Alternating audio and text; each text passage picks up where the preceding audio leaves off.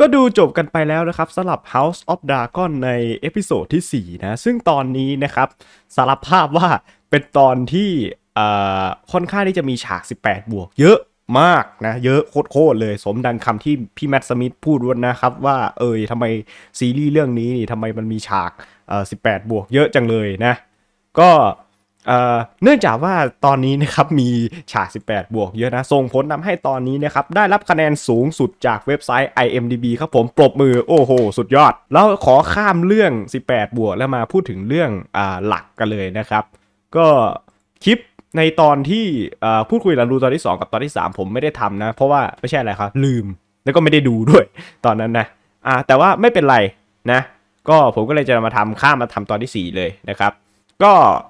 ตอนนี้นะครับเราก็จะได้เห็นว่าเรนิด้านี่ได้ทำการไปเลือกคู่ใช่ไหมที่สถานที่หนึ่งนะครับก็มี guideline นะครับก็คือเป็นคนอธิบายว่าไอ้คนที่มาเลือกคู่นี่เป็นใครก็คือ Lord Baratheon นั่นเองครับเพราะว่าตราสัญลักษณ์พี่แกเป็นรูปกวางนะเออ แล้ว Lord Baratheon นะครับเคยเป็นมือขวาคนแรกนะของไอ้ก็คือไอ้ตระกูล Baratheon นี่เป็นตระกูลแรกนะครับที่ได้เป็นมือขวาของพระราชานะ สำหรับตระกูล Baratheon นะครับ แต่ว่าเรดิดาก็อะปฏิเสธ ถ้าเกิดเราสังเกตดูดีๆนะครับในฉากนี่ เราจะเห็นว่ามีคนมายืนต่อแถวกันเพื่อที่จะ present ตัวเองต่อเรดิดาใช่ไหมก็ถ้าเกิดมันก็ present กันไม่ครบหรอกแต่ว่าถ้าเกิดดูดีๆนะครับดูจากเครื่องแต่งกายเนี่ยเราจะรู้ว่า เอ้ยมันมีตระกูล Tully ด้วยนะเออแล้วก็มันมีคนจากตระกูล Hightower ของไอ Otto ด้วยนะ ในฉากนี้เนี่ยก็ Rhaenyra ก็ปฏิเสธหมดครับ แล้วก็มา กลับมาที่พระราชวังนะครับ เพื่อได้บังเอิญไอ Daemon มาที่พระราชวังพอดีนะครับ เพื่อที่จะส่งมอบภารกิจการปราบ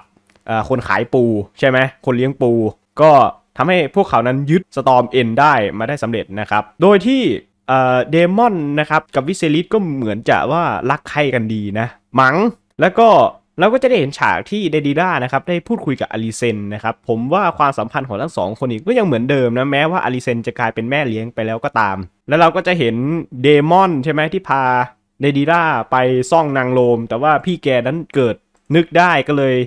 แบบไม่ได้ทำอะไรเยอะไปกว่านั้นนะครับก็เลยกลับมาและเดดิด้าก็ได้กับ Ser Criston แทนนะก็จะได้รู้ว่าสายของพี่ Otto เนี่ยโอ้โห มีอยู่ทุกทุกทิศทุกแดนเลยนะครับพี่แกรู้ไปหมดทุกอย่างเลย แล้วพี่ Otto นะครับก็ได้มาแจ้งกับทางกษัตริย์ Viserys นะบอกว่า Rhaenyra ได้ไปทำมิดีมิร้ายนะกับทาง Daemon อาของตัวเองนั่นเองครับก็กษัตริย์ได้ยินอย่างนี้ก็โกรธสิครับ ก็ไปไล่ Daemon เลยบอกว่ามึงอย่ามาให้กูเห็นหน้าอีกนะ แล้วเราก็จะได้รู้เกร็ดเล็กเกร็ดน้อยนะครับ บอกว่าทาง Lord Velaryon นะครับ ก็พยายามที่จะลบยกลูกสาวของตัวเองนะให้กับทางนครเสรีนั่นเองครับเพื่อเชื่อมสัมพันธไมตรี หลังจากที่ King Viserys นะครับได้รู้ถึงว่าเดดิด้านะครับได้ไปทำมิดีมิร้ายกับทาง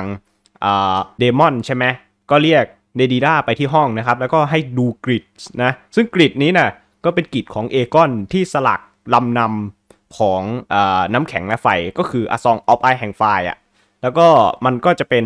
ชื่อเรื่องของแฟนชายเกมออฟ t ร o นด้วยนะครับ ก็คืออซองออฟไอแห่งไฟนั่นเองครับ